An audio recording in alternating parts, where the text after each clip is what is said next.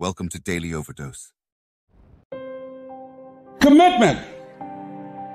It means taking a stand. Taking a stand for you. It means delivering. It means coming through. What if you don't keep your commitment, Les? What if you give it everything you have and you come up short? Or if you don't give it everything you have, what if you get weak along the way and you're throwing a towel on yourself? You surrender to your emotions. What then? A lot of people become discouraged. They become frustrated and they say, oh, what the heck? And they go back to doing what they were doing before saying it doesn't work. You get to make a choice. Is failure going to break you or is failure going to make you? You get to decide failure doesn't. It's okay to fall. It's okay to cry. It's okay to go home, but quitting should never be an option. It's not in falling that makes us failures. It's in not getting up that makes us failures. And you get to decide if you get up or you don't get up. We're going to take setbacks. We're going to take some some defeats from time to time in our lives. when that happens, what that actually does, what that actually should do, is make your vision clear. Make your mission clear anyone who's successful has failed much more than you know. Like you look at somebody who's unbelievable athlete, somebody who's an unbelievable entertainer, speaker, communicator, artist. They didn't just show up that way. They are being rewarded in public for what you practice in private consistently. You might want to jot that down. We're all rewarded in public for the things that we consistently practice and refine in private. And so you see that person, you think they're a genius, but if you watch, they've been failing more than anybody else. They just failed more often, so they learn quicker.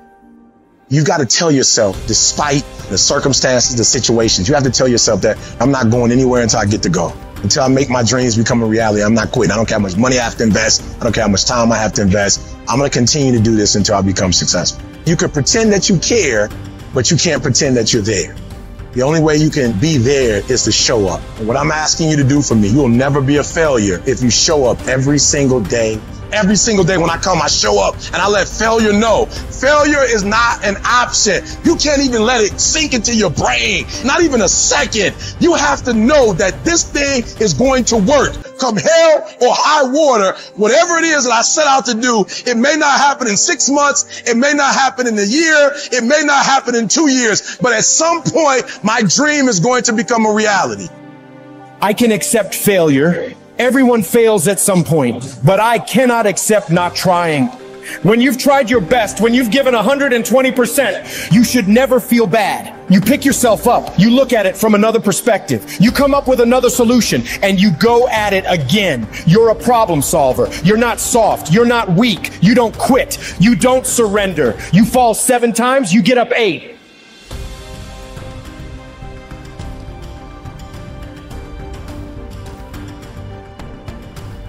There is a cycle of history that is plain as day. Good times create weak people. Weak people create bad times. Bad times create strong people. Strong people create great times. This is the cycle of history. Our thinking, our process is so affected by the way we're raised generationally, the experiences we go through. So let me give you an example of why we're having challenges today and why I'm more than hopeful. Let's say you were born in 1910. Now, think of it this way first. Remember, I talked about pattern recognition, pattern utilization, pattern creation. What gave humanity its greatest jump in its capacity was pattern recognition around seasons. Up until that time, we were hunter gatherers, barely able to survive. It all depended on what was happening in the environment. We were dependent on the outside world. But once we understood the seasons, that planting in the springtime and then taking care of through the summer boy, in the fall you can reap, and then there's going to be winter, and you got to hang on to this stuff so you can survive. Once we recognize that pattern, humanity transformed. Communities were created, eventually cities and countries and states, right? So think of it this way there's also a pattern of your history as a human. 0 to 21, 19 to 2021 is a springtime where everything's easy. It's easy to grow. Growth happens. You don't have to do squat. Your body grows, life grows. And some of us had a more protected childhood, some of us had no protection. We had to step up and take care of things when we were seven or eight years old. But regardless, overall, it's a time in which people look out for you, you're taught things, you consume what you're taught. But once you come 19, 20, 21, roughly, and sometimes it's 16 for some people, 25 for others, but you get the picture, you enter a new season of life. You go to the summertime where you start testing and go, well, this is what I was taught, but do I really believe this? You know, this is what people say, but now I'm in a relationship, you know? And so all of this, this next 20 years is an explosive growth period if you work at it from 21 to 41. From 42 to 62 is a reaping time if you planted really in the spring and you pushed hard through the summer, you're gonna reap.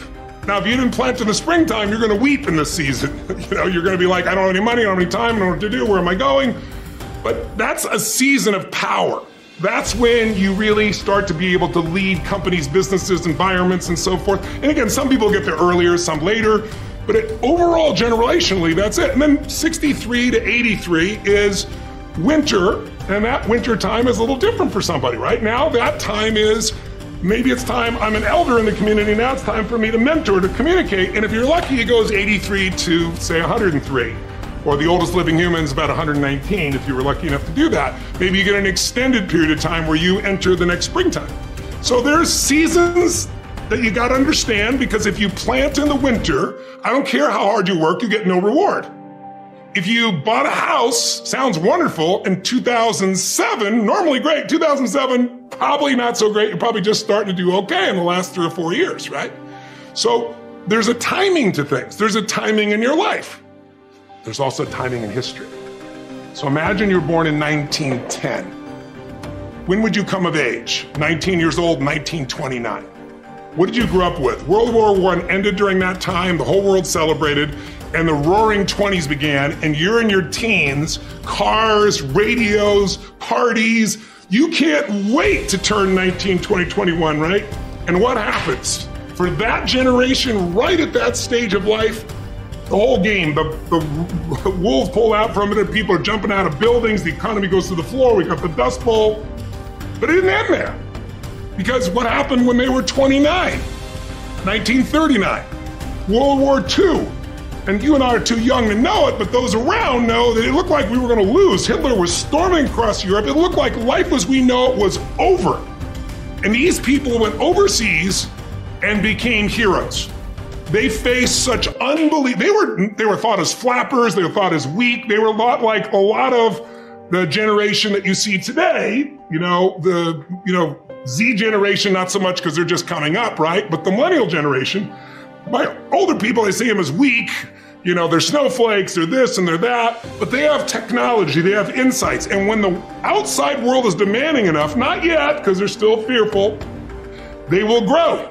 And that's when things change. And so the season occurs. So think about the difference between the 30s and the 40s versus the 50s versus the 60s as we came after 63 into an American summer as a different mindset versus the 80s to the 2000, 2010. So we're right now halfway through winter.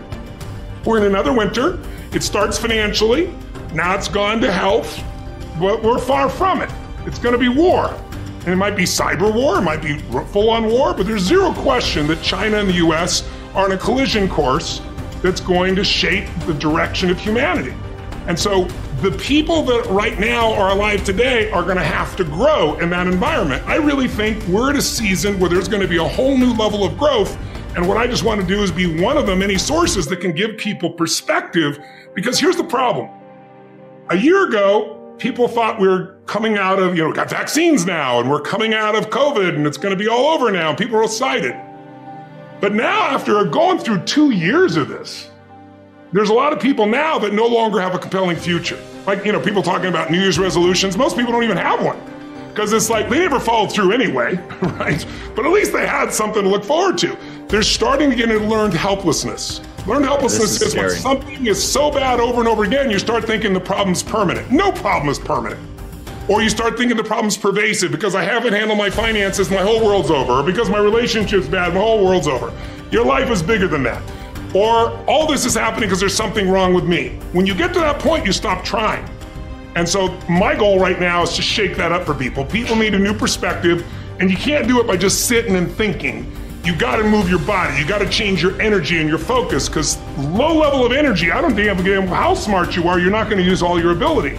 But if I get you into a higher state of being, mentally, emotionally, physically, then all of a sudden you start remembering who you are and you start coming up with answers that you never even thought were possible before.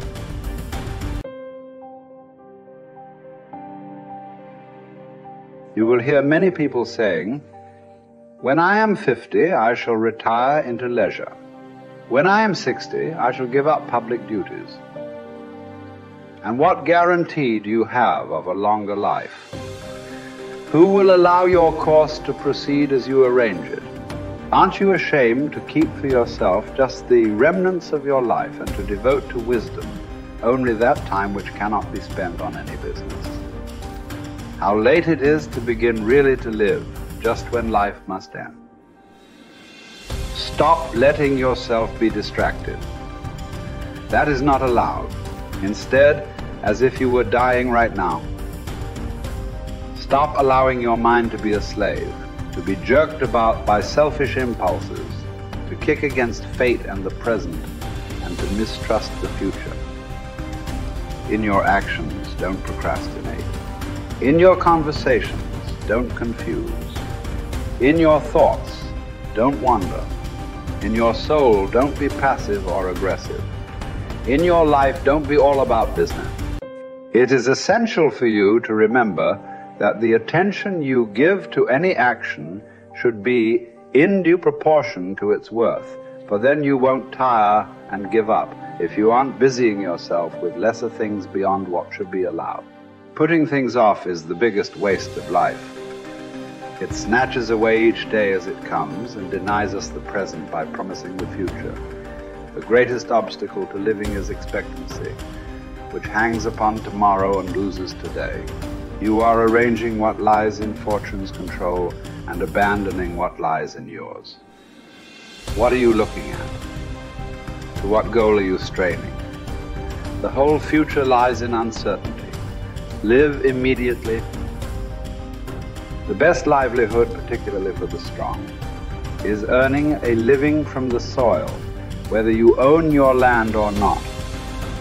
Many can support their families by farming land owned by the state or private landowners. Some even get rich through hard work with their own hands. The earth repays those who cultivate her, both justly and well, multiplying what she received endowing in abundance all the necessities of life to anyone willing to work, and all this without violating your dignity or self respect. Generally speaking, if you devote yourself to the life of philosophy whilst tilling the land at the same time, I couldn't compare it to any other way of life, nor would I prefer any other livelihood. It is living more in accord with nature drawing your sustenance directly from the earth, the nurse and mother of us all, rather than from another source.